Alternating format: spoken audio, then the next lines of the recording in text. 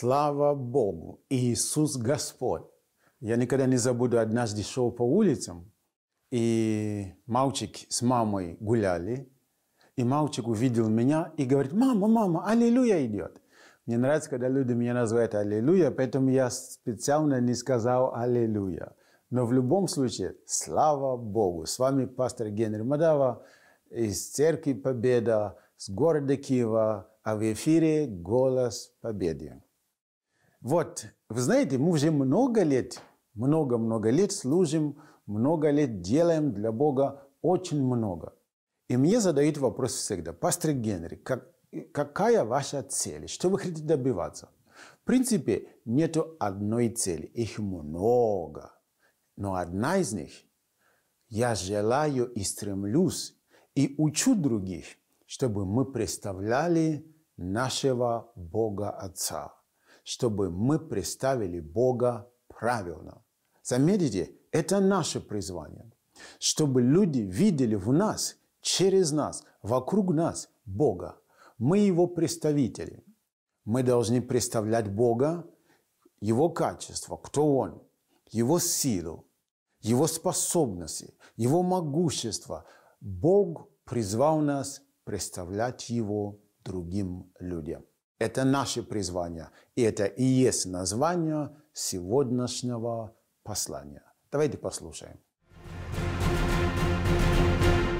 Мы призваны представлять нашего Небесного Отца.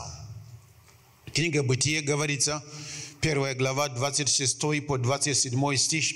«И сказал Бог, сотворим человека по образу нашему, по подобию нашему, и да владычествуют над рыбами морскими, над птицами небесными, над скотом и над всей землей. Но всей землей там и ископаемые, и золото, все там находится. И над всей землей, и над всеми гадами, и пресмыкающимся по земле. И сотворил Бог человека по образу своему. Так, я знаю, следующая часть стиха будет шок для многих мужчин, но оказывается, Бог создал по своему образу, Божью сотворил его мужчину и женщину сотворил их.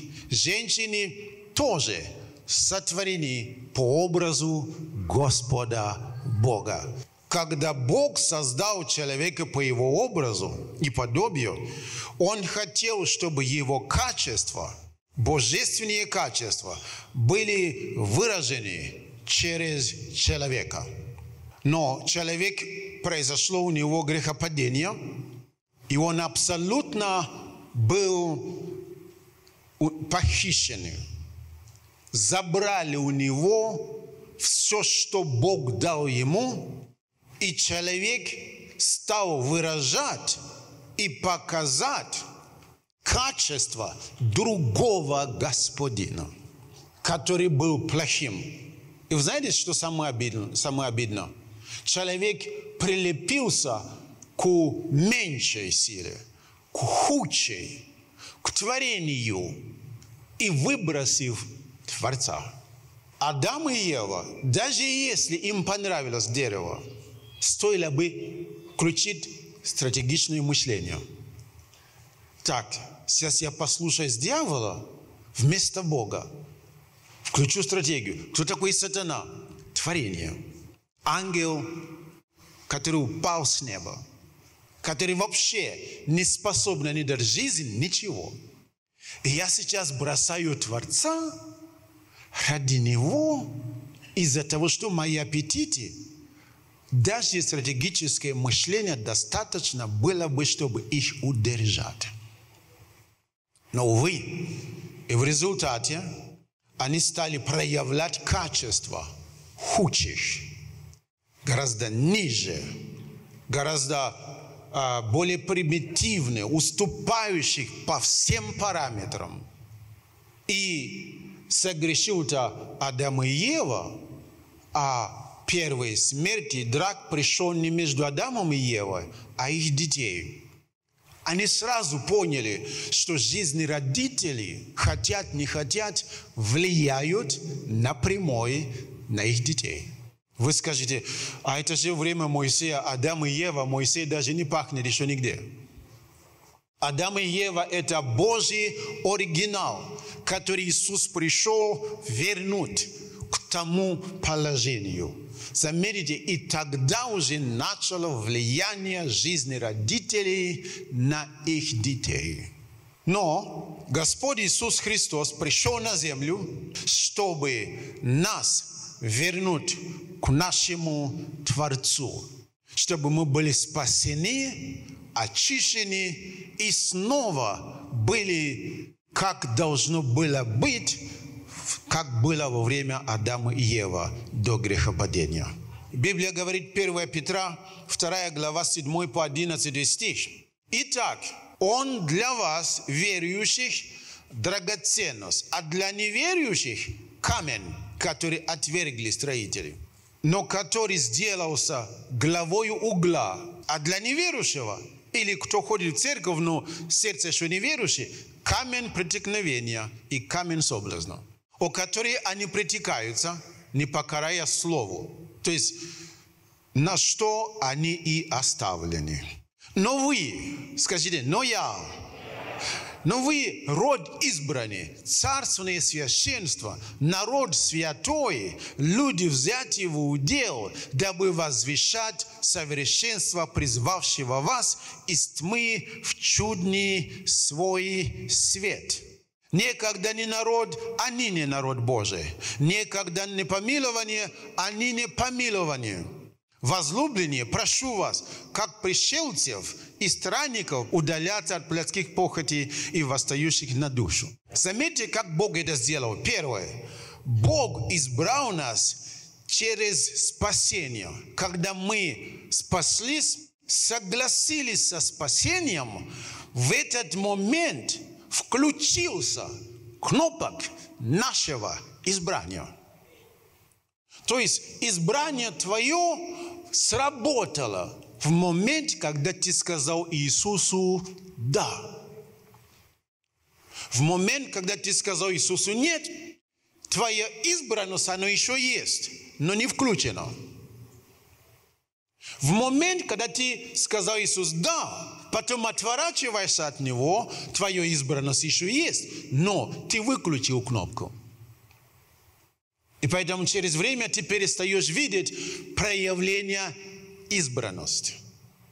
И за эту кнопку всегда говори Иисусу «да», всегда беги к Иисусу. Плакать – плачь к Иисусу. Рыдать – рыдай к Иисусу. Радоваться – радуйся к Иисусу. Беги к Иисусу. Никогда не притворяйся.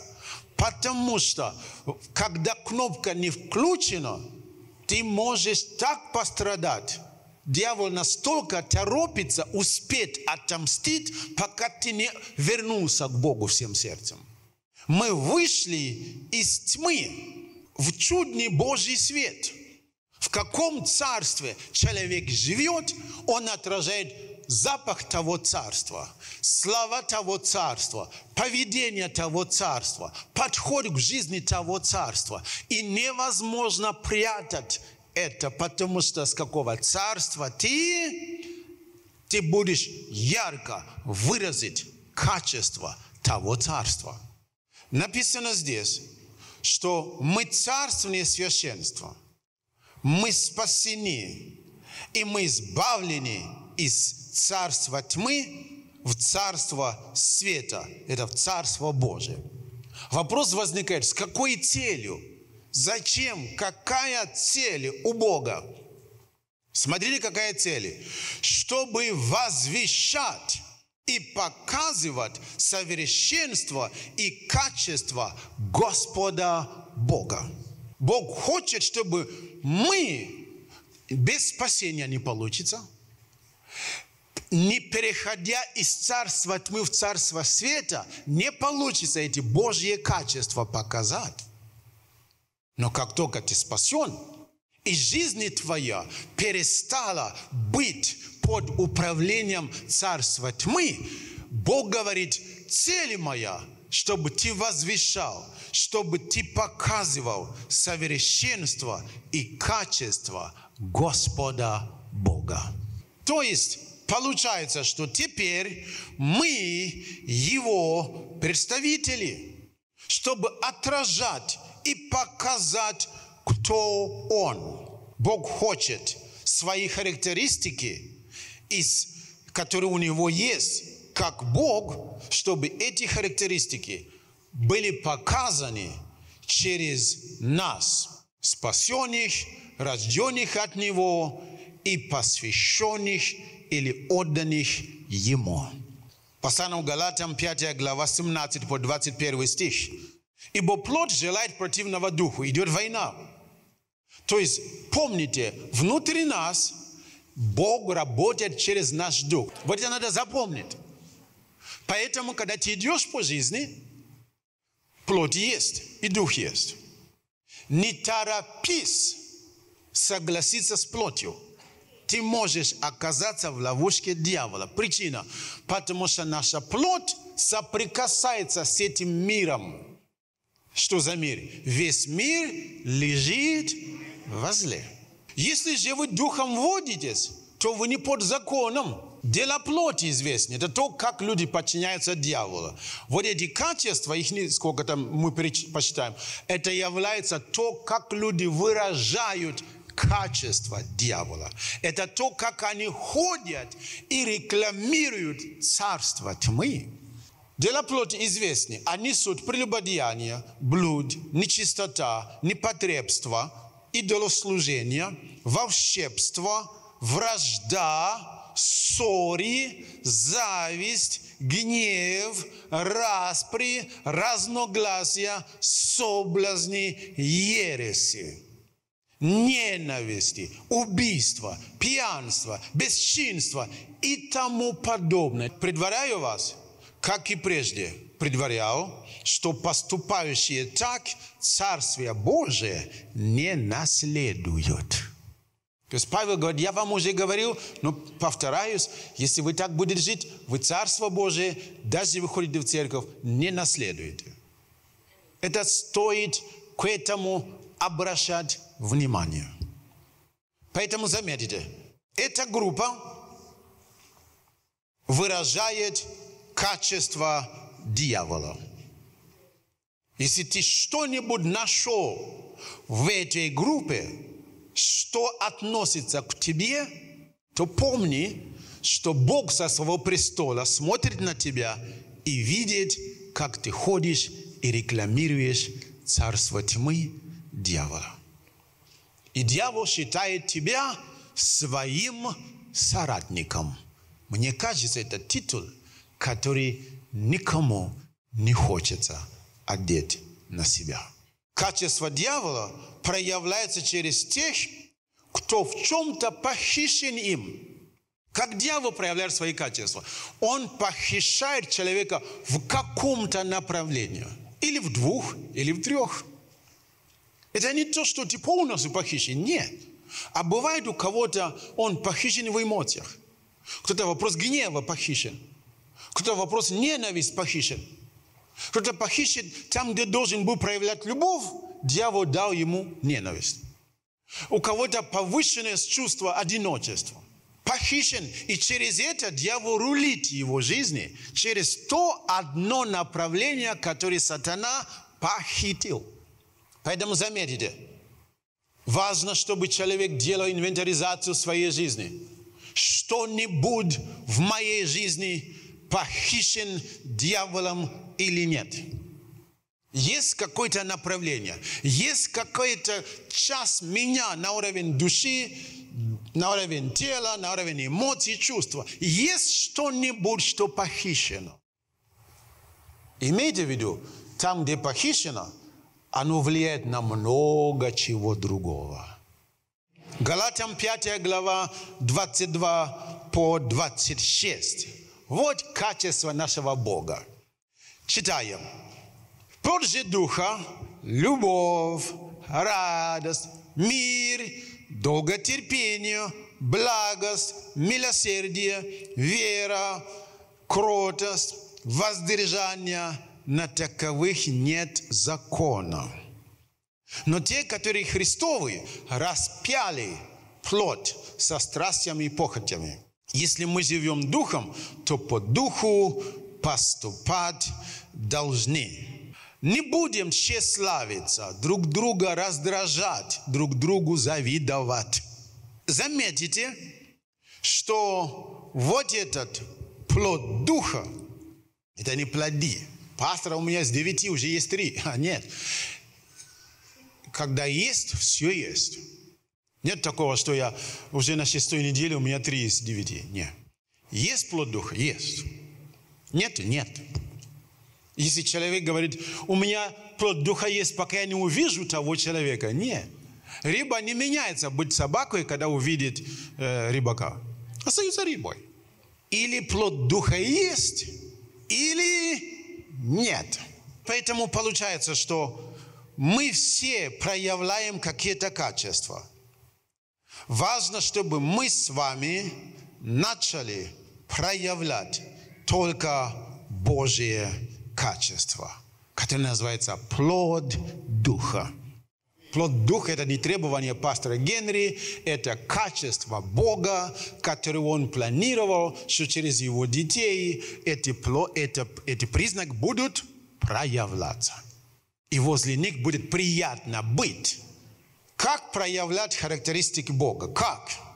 Надо утверждаться в Божьей идентичности. Это то, как Бог тебя видит, это то, как Бог считает, кто ты. 1 Иоанна 3, 1, 3. Смотрите, какую любовь дал нам Отец, чтобы нам называться и быть детьми Божьими. Мир потому не знает нас, что не познал Его. Возлюбленные, мы теперь дети Божьи. Будем или мы уже есть? Уже есть. Но еще не открылось, что будем, это после жизни на этой земле. Знаем только то, когда откроется, будем подобны Ему, потому что увидим Его, как Он есть. И всякий, имеющий всю надежду от Него, всякий, кто имеет, всякий, очищает себя так, как Он чист. То есть, заметите, Бог чист, и я хочу быть похожим на Него. Это то, к чему мы призваны. Свят, будьте свят, потому что ваш Отец свят. Бог есть любовь. Любите, потому что ваш Бог – любовь. Бог верен. Будьте верны, потому что Бог верен. Вот получается, что это то, к чему мы призваны. Стремиться быть на Него похожи. Он передал мне Его качества. Какие? Бог передал мне Его праведность. Скажите, праведность? Бог передал тебе тоже. Он передал мне прощение грехов, очистил меня. Он передал мне спасение. Он передал мне обетование Его, их действия. Он передал мне Божью жизнь, Его жизнь. Он передал мне Его силу. Он передал мне Его защиту и охрану, сохранность. Он передал мне все возможности и способность, которые у Него. Он передал мне божественную Его власть. Делай добро всегда другим людям. Говорится Матфея 5 глава 15 по 16 стих. И зажегши свечу, не ставит ее под сосудом, но на подсвечнике и светит всем в доме. Тогда светит свет ваш перед людьми, чтобы они видели ваши добрые дела и прославляли Отца вашего Небесного. Удивительно, как доброта работает. Это орудие в руки Божьей. Люди видят твои добрые дела или слышат твои добрые слова, или замечают твой добрый образ, твой добрый образ жизни – и через это Бог становится реальным для них. Что такое люди? Это все люди, в том числе ваши дети. Угу. Оказывается, ваши дети – одна из причин, почему не хотят служить Богу, славить Бога. Это потому что они не видели добрый образ жизни родителей. Они не слышали добрые слова. Они не видели добрые поступки. Они видели мама и папа, как дерутся. Или мама достает папа, папа терпит, терпит, терпит, через 40 минут уже не выдерживает, и он отвечает обратно. Они это видели. Поэтому, когда говорится люди, не забудьте, что в числе людей ваши дети. Они тоже люди. На них распространяется это. Поэтому, заметьте, много вопросов в жизни решаются, когда мы включаем качество Божие в действие. Все вопросы проблемные, которые в твоей жизни, есть решение. А это решение есть какое-то действие, слово, мысли, соответствующее добру, которое, если бы ты включил, вопрос бы решился. Как проявлять характеристики Бога? Покажи и делись тем, что Бог дал тебе. Библия говорит 2 Коринфянам 1 глава 3-4 стих. Благословен Бог и Отец Господа нашего Иисуса Христа, Отец милосердия и Бог всякого утешения, утешающий нас во всякой скорби нашей. Зачем? Чтобы и мы могли утешать находящимся во всякой скорби. Бог нас вывел, и когда мы свободны, аллилуйя, ой, смотрим, он в той же скорби, где я был. Что я делаю теперь? Иду, вытаскиваю. Почему? Бог меня утешил, чтобы этим же утешением я прошел и помог другому, кто в скорби. С каким утешением? Тем утешением, которым Бог утешает нас самых. Поэтому всеми твоими переживаниями Бога, всеми свидетельствами, чудесах Божьих, которые ты имеешь как Божье дитя. Все, что с тобой произошло, и ты решил с Богом, делись с другими людьми. Давайте мы всегда будем делиться и благословением других людей. Начинай полноценно представлять своего Небесного Отца на земле. Слава Богу, что Он дал нам такую привилегию, чтобы мы показывали Его. Поэтому каждый раз, когда я стою перед людьми, есть два меня. А как это понять? Ну, вот так и понять. Первый – это я простой человек обычный. Если бы моя мама пришла, она бы сказала, Генри, ты сегодня чистил зубы или нет? Потому что для, него, для нее я всегда ее сын, которому нужно подсказать во всем. Вот это я одни. А второе – это служитель Божий, призван представлять Бога. Есть люди, которые Бог помазывает специально, чтобы они и представляли Его шире, и помогали другим понять это.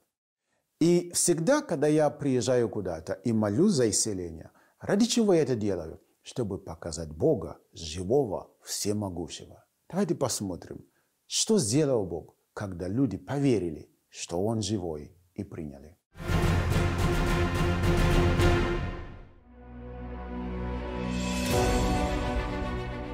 Иисус Христос воскресший и живой. Он своей чудесной силой прикасается к людям.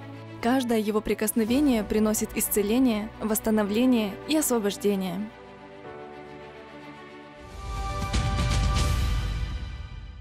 У Татьяны была боль в правой груди на протяжении пары лет. Во время молитвы боль прошла. Протяжение пару лет. А, Долго, да, мастопатия. Вот Я Мастопатия. не чувствую сейчас никакой боли. Вы обратились к врачам, А, да.